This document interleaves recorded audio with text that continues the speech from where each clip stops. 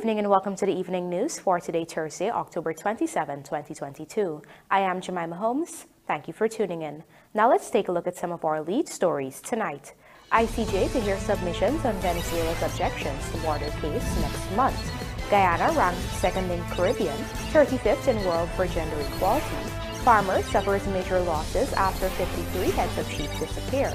Ansa McAl opens U.S. 2 million facility at Palmyra, and cops must pursue domestic violence cases, even if victims refuse, says minister. Now for the news in detail. The International Court of Justice will next month be hearing submissions from both Guyana and Venezuela on the Spanish-speaking nation's objections to the border controversy case in which Guyana is seeking a final and binding judgment to ascertain its territorial boundaries. Here is Vanu Manichand with our lead story tonight. After refusing to join the proceedings before the World Court since 2018, Venezuela finally participated in the border controversy case months ago and filed an objection that has delayed the substantive hearing. They submitted preliminary objections to the admissibility of the case before the ICJ in June. Now, the World Court has invited both Guyana and Venezuela to make submissions on those objections. According to Guyana's agent on the case, Carl Greenidge, those hearings have been set for November 17 to 22nd. The oral presentation will allow uh, the court to hear Venezuelan Venezuela's um, objections to the to the well to the memorial in the sense that they're saying that the memorial isn't properly before the court, and uh, that is what it'll be about.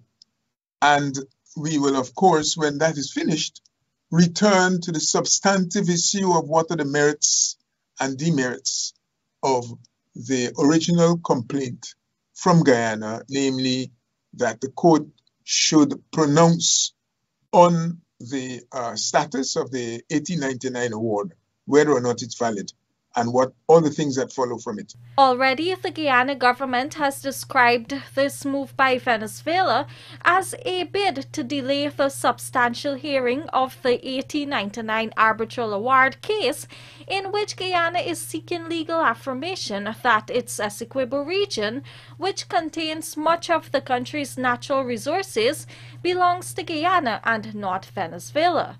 Venezuela is laying claims to more than two-thirds of Guyana's land mass and a portion of its exclusive economic zone in which almost 11 billion barrels of oil have been discovered over the past seven years and oil production activities are ongoing. Back in September, President Ali had reiterated Guyana's commitment to a peaceful resolution of the border controversy, which had caused some unease in Caracas, and the Nicolas Maduro regime renewed its spurious claims of Guyana's territory. This sparked a widespread public campaign in Guyana, with many local officials and stakeholders sharing a map of Guyana to declare that everything within the country's border is we own. Moreover, the Foreign Affairs Ministry has also reached out to major social media platforms such as Facebook and Twitter, requesting that they remove posts made by a number of Spanish language social media accounts claiming Guyana's territory by publishing illegal maps. Reporting for the Evening News, Fanu Manikchand. Guyana has been favorably ranked in the Global Gender Gap Report 2022, being placed 35th out of 146 countries and second in the Caribbean for reducing gender inequality. Vanu Manichan joins us again to report that Governance and Parliamentary Affairs Minister Gail Teixeira says this is reflective of the many initiatives implemented by the People's Progressive Party Civic Administration to enhance gender equality in the country.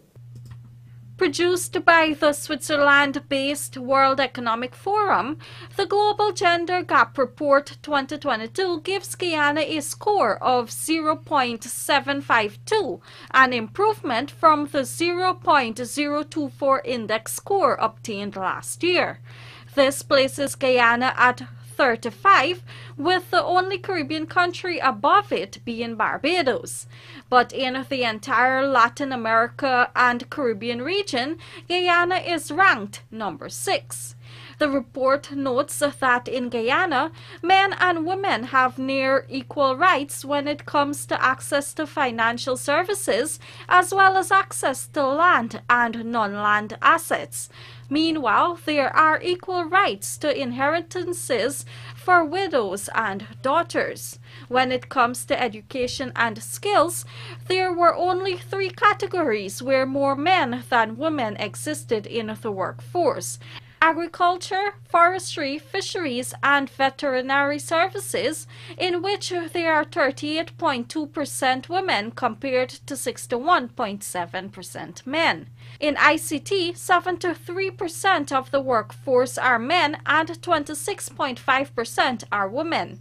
And in engineering, manufacturing, and construction, men account for 77.6% of the workforce and women 22.3%. However, in health and welfare, the report lists women as the majority with 84.4% and men with 15.5%, while education has a workforce of 88.5% women and 11.4% men. Business, administration, and law has 68.7% female and 31.2% male. Then in arts and humanities, the workforce is 89.6% female and 10.3% male. Women also account for 81.7% in the social services, journalism, and information sectors, compared to 18.2% male. The natural sciences, mathematics, and statistics sectors have 53.3% female and 46.6% male. According to the report, Guyana is among the Latin American and Caribbean countries that improve its gender parity scores the most. Guyana was also named as one of the nations in which the parity has increased among workers in senior roles by at least 10 percentage points.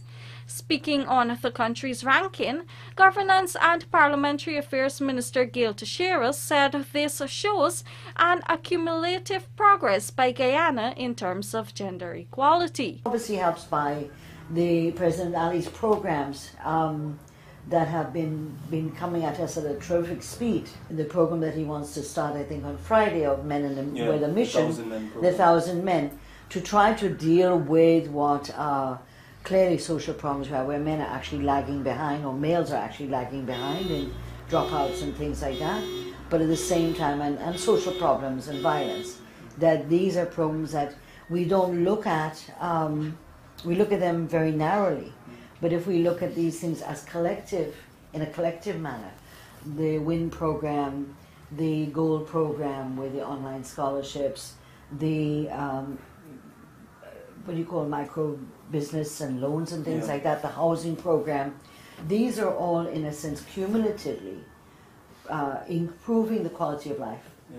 And in fact, because we don't discriminate in Guyana between women and men and say that women can't do this, it automatically, and, and women, as a woman, women are much more ambitious anyway. Reporting for the Evening News, Fanu Manakchand. Cattle rustling continues to be a major problem faced by farmers in Region 6. Our Berbice correspondent Andrew Carmichael shares this story of a Corentyne farmer who has vented his frustration over the situation, having recently lost 53 heads of sheep, a significant blow to his livelihood. Here are the details. Odal Budram, a cattle farmer of number 55 Village Corentyne, Region 6, East Berbice Corentyne, said up to Sunday night he had 62 heads of sheep. He said on Monday when he went to the savannah where he had left his animals, he only found 10 of them. back up starts from the whole area where the sheep them graze and couldn't find the, sheep.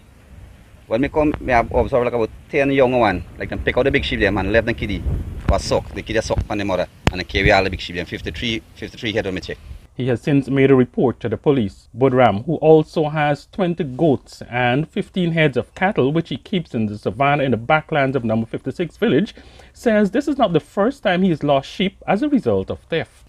And this thing set back me a lot because I'm even for me really walk no way. Me even this animal get something out of them because I spend over a million dollars on the sheep there. You can buy the sheep for 20,000 a year. And if 53, I check the money how much. Over a million dollars in sheep alone. How, Couldn't find back none until now. How long um you doing the sheep business? Over three, four years now. You ever had losses like this? Any losses No, before? on the big flood I had like about thought the same had been dead on the flood. A person ever came to steal from you before? Yes, one time they got 11 right it up on me already. 11 here. Last March again, I buy five and cow tongue and bring and come for milk. That me now walk to milk, milk and cows and get the money out of them. Cow cost me one- 1.5 for each house. On PX, spend something for bring them come. Bring them come, the man got all five. That March again. And now they got over a million dollars worth in sheep for me. I don't know what to do now, what, what to turn to now. Cattle rustling and theft of small ruminants has been one of the major issues affecting animal farmers on the upper Corentyne. Well, next buy, them call him by a rule by a 50 a day. Call him buy. Buy is mine to me, he is mine together he. And he, he has last one, one, two, two, but I never last like, like this he. Apart from this, farmers also have to deal with attacks by jaguars, pythons, and alligators, and even dogs which go to the savannah to feast on the newly born. However, Budram strongly believes his missing animals were the victims of theft. It's not no white animal, there's somebody come pick them up one night and carry them, thief them, they call them thief. Because them don't left this area here. When we come, we come through right here, we come there on the bridge here. Come, you see all, tell you, come on the sun hot, all left some kind of sit down, all in the pain there. All under the sheet and they sit down. They're not going to know we here. Because four, three, four, of them the this area, he don't know he good. Then I move on here. Only recently, police officials in the region said they would be paying more attention to cattle rustling and had promised results before the end of October. This was after farmers had complained that the law enforcement officers seem inept in dealing with the situation. Since that promise was made, three persons, including a butcher from New Amsterdam, were placed before the court on related charges. Andrew Carmichael, The Evening News. More than 30 farmers on the west coast of Berbice, Region 5, have received titles to their lands. Andrew Carmichael joins us again to report that some of them had applied almost two decades ago. Here's more. The land titles were handed over to farmers at the Mahaica Mahaicony Abary Agricultural Development Authority MMA ADA Open Day held on Thursday. The Open Day allowed for both MME and stakeholders to take stock of what has been done over the past year. This is according to Agriculture Minister Zulfikar Mustapha.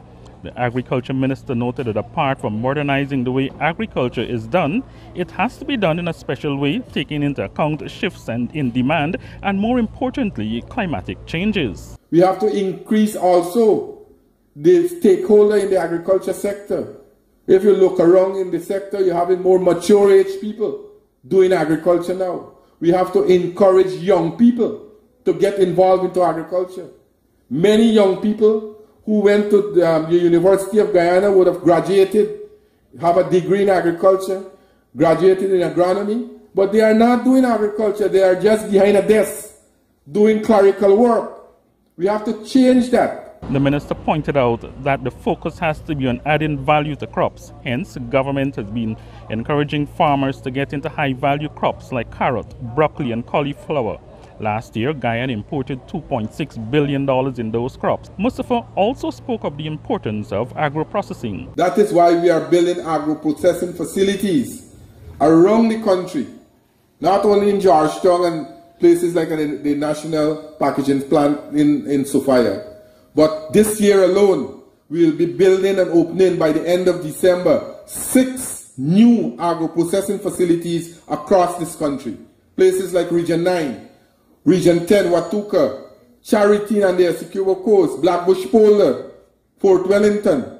Those are areas that we have already have the building and, and now they are putting in the lines so that farmers can take their produce there and add value to it. Very important, the minister pointed out, more land needs to go under cultivation. He also said there must be improvement in production and a reduction in production cost. This, he said, is being done by introducing new varieties and species to a product. All the wealth that we have came from agriculture.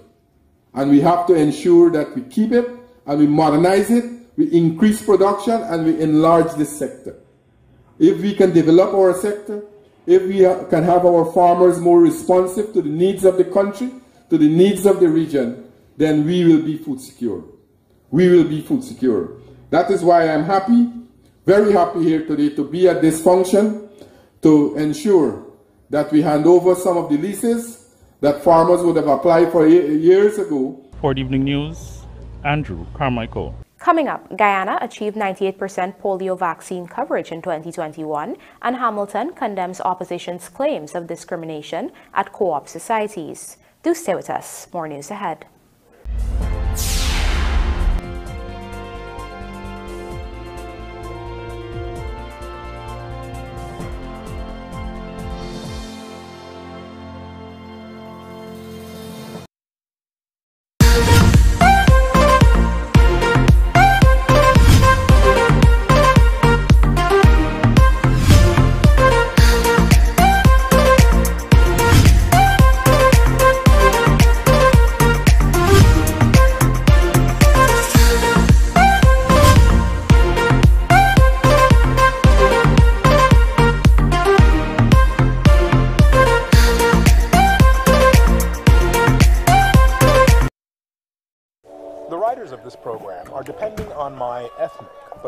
Threatening voice to explain things they are too lazy to set up traditionally, only two months into the semester.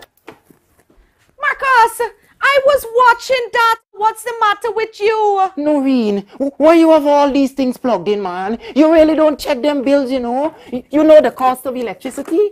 Marcus, you can't be so ridiculous. That's the fridge. Why would you unplug the fridge? I don't understand why the cost of electricity is so high in this country, man. Somebody has to do something. Marcus, you know what I realize? Something is really wrong with you. How are we supposed to live without electricity? Hello, just like our ancestors survived back in the days. I will have you know, Marcus, Noreen Angela Melville is not cut out for that type of life. And already the ninth Ivy League squad buzz with future Olympians and presidents. Hmm. Within did you know the gas to energy project is expected to reduce the cost of electricity by up to 50%? yes, that project will slash electricity bills in half. This will also unleash a tsunami of benefits for the manufacturing sector in Guyana. Wow. Marcus, did you hear that? Electricity will be cheaper. Now, Marcus, for the love of God, plug the fridge back in. For the admissions brochure. Cheryl, girl, you want me? Sorry, I'm interrupting y'all.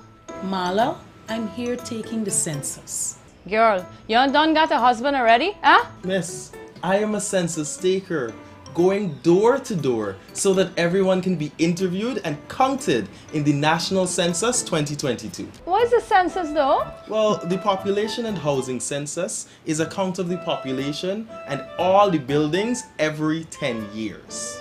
Getting counted transforms an entire nation. From Region 1 to Region 10. You know what? I believe our village needs a health center. I think it needs some roads too. You see the man boots out there, how it full of mud, eh? That's why I'm asking Mrs. De Silva a few questions from our questionnaire.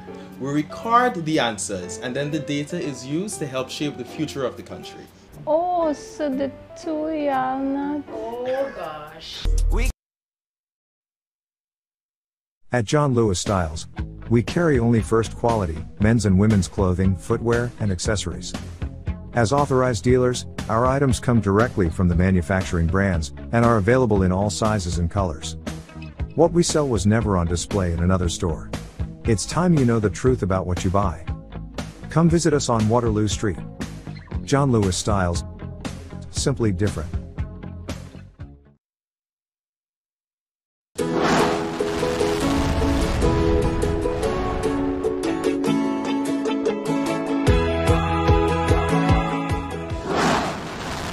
Premier. Premier insurance coverage for less. Stay safe.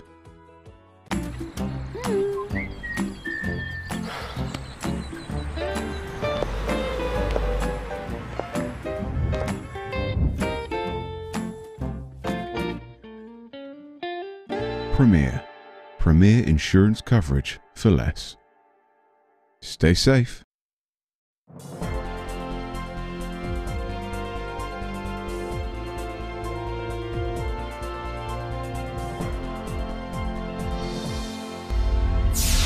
Welcome back. You're watching the evening news. Continuing to express its confidence in the Berbice economy, the Ansa McAl Group of Companies today opened at Palmyra a new multi-purpose facility which would be used as its main office for the county. Andrew Carmichael reports that the company will now be making more services available in Region 6 as a result of this investment. Let's have a look. As Ansa McAl approaches its 30th year of operations in Guyana, its presence in Berbice is also approaching that milestone. Over the years, Ansa McAl has been renting facilities to operate out of. In fact, the company acquired real estate 14 years ago but continue to operate out of rented facilities in New Amsterdam. Managing Director Paul Cadogan, speaking at the opening ceremony of the 2 million US dollar Palmyra facility, explained that Berbice has played a big role in the company's existence in Guyana. The time is actually right for us to actually invest in owning our own home Berbice. This will expand the location not only caters for all of the Ansa McAl businesses in Guyana, what it does is also give our staff a more comfortable um, environment.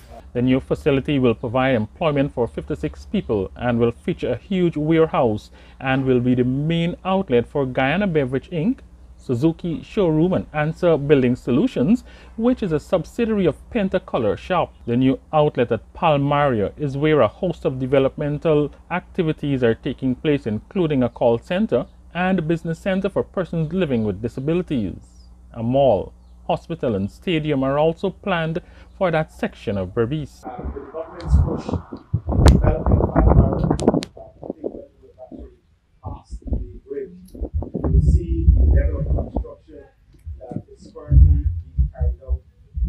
that. And so it's strategically. There is adequate parking both front and at of the uh, location. So your shopping experience will be um, part. We are happy that Ansa McAl has moved to this facility and has shown the confidence in the Berbice economy and the new Guyana economy as a whole as it pertains to their investment. Um, you know what is going on in Guyana, and the government of Guyana and the private sector in collaboration have been working extremely hard to market the opportunities that are available across sectors in Guyana. And we have seen tremendous response and we are very happy for people like McAl who was here using their experience in the market before to expand before any of those new customers come into or new investors actually come into the market. That was Vice President of the Private Sector Commission, Ryan Alexander, who is also the President of the Berbice Chamber of Commerce and Development Association. That opportunity to offer over a thousand colors would be fantastic for the construction industry person to come in and have a choice of the color that they would like to see. Andrew Carmichael, The Evening News.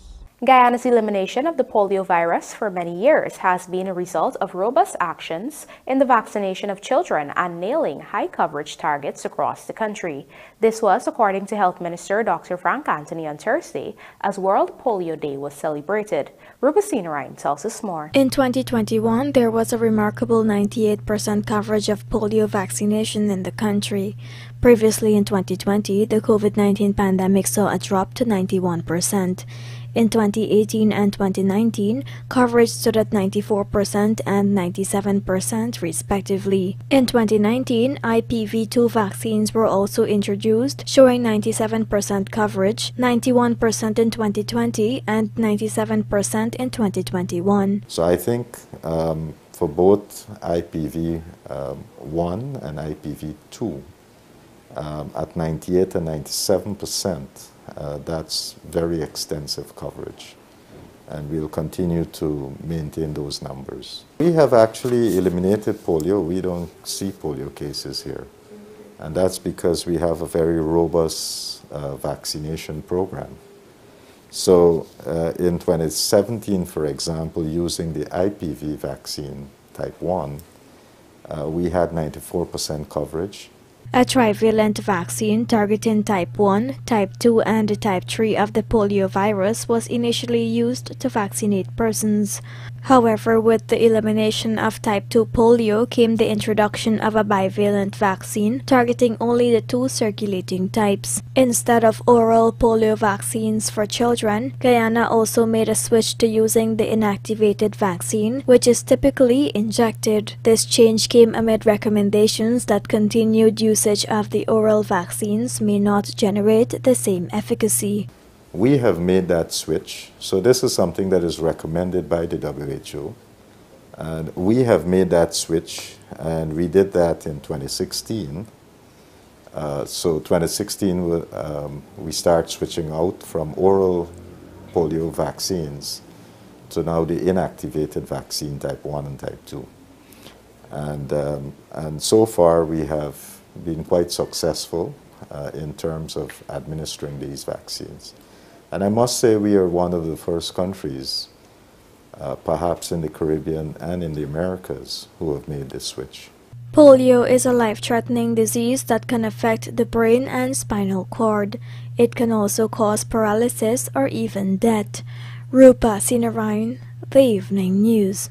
Minister of Human Services and Social Security Dr. Vindhya Persaud has said that officers of the Guyana Police Force must be mandated to pursue cases of domestic violence, even if victims refuse to go against their perpetrators. Find out more in this Bisham Mohammed report. The Ministry of Human Services and Social Security is amending the Domestic Violence Act of 1966 to impose stringent measures to curb gender based violence. The legislation recently was out for national consultation to address gaps and to strengthen the legislation. We are considering a renaming the Family and Domestic Violence Act or the Family Violence Act merely because the current act speaks to a few relationships. But when we say family, this, uh, this really encourages protection of more persons within a family. She noted that the new law will be crafted to include best practices from around the world. We're looking at how it can be very progressive, very modern, but also very protective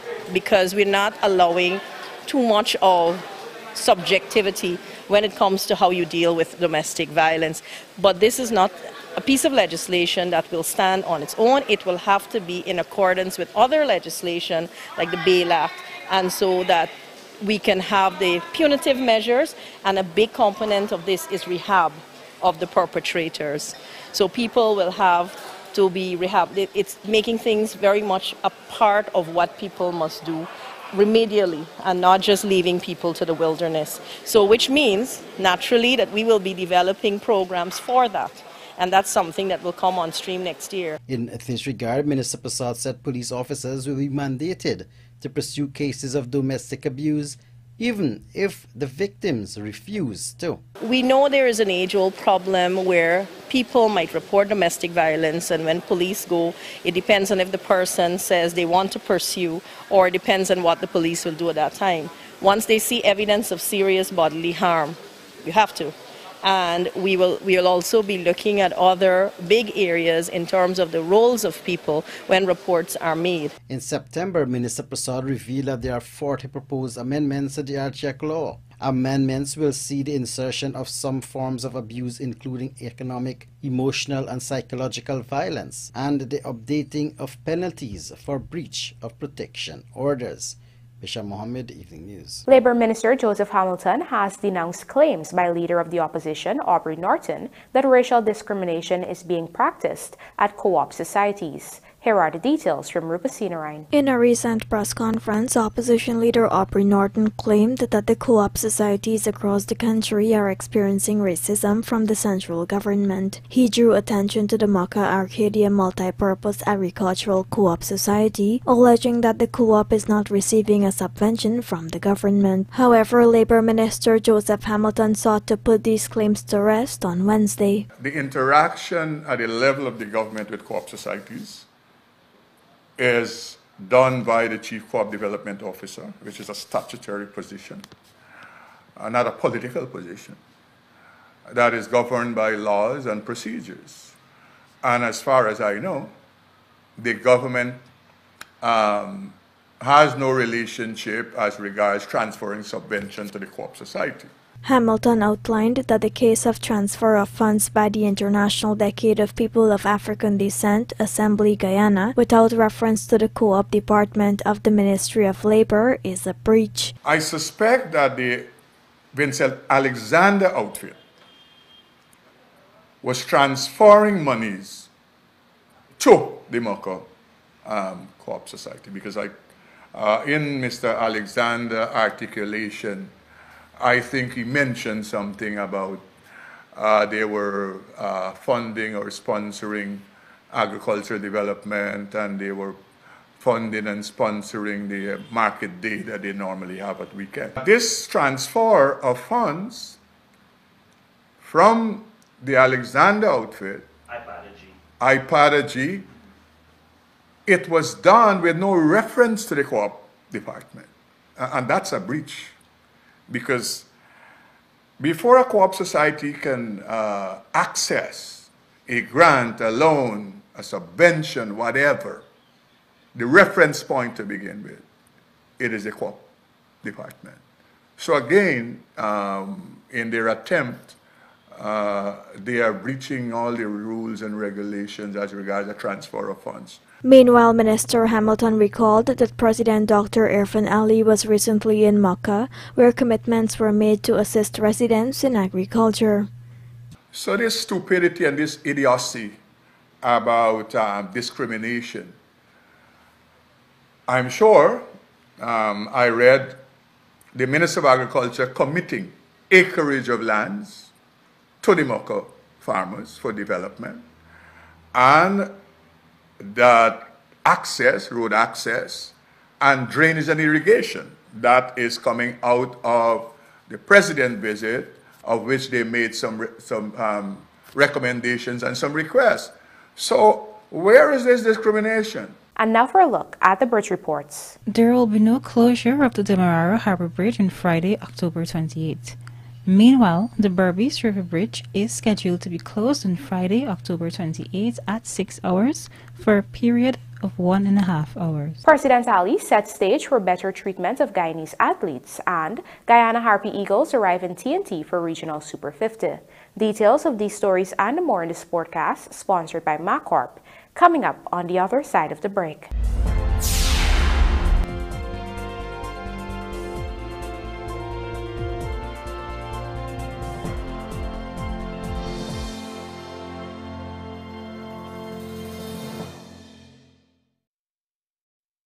Hi, my name is Jaden Softly and I'm very excited to have GTNT set up this fiber cable. As you can see, I'm young, so I'll be using this uh, Wi-Fi, this internet, to be doing my everyday browsing and searching and you know, just my homework and assignments, playing games, watching YouTube, you know, the regular stuff.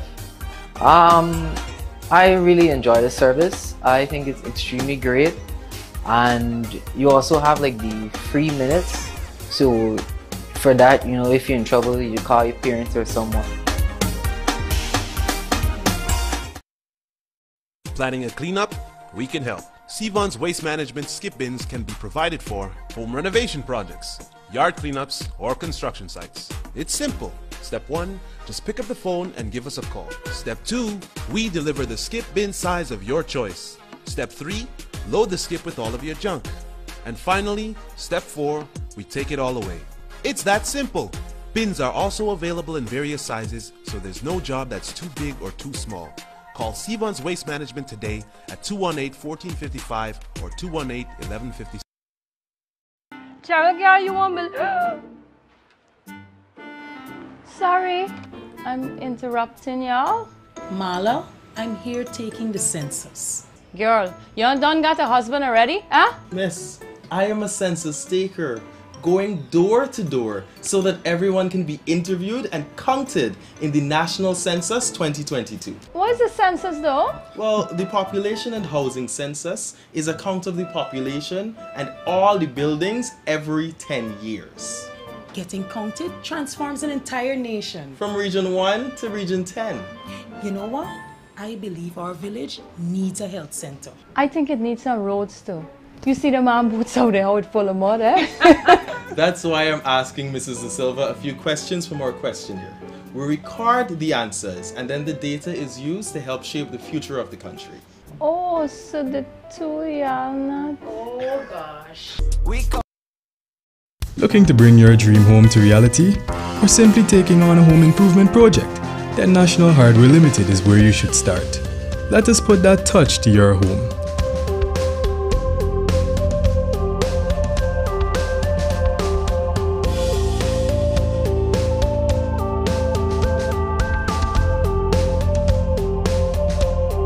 Choose from over 1000 Berger Paint original hues for any surface.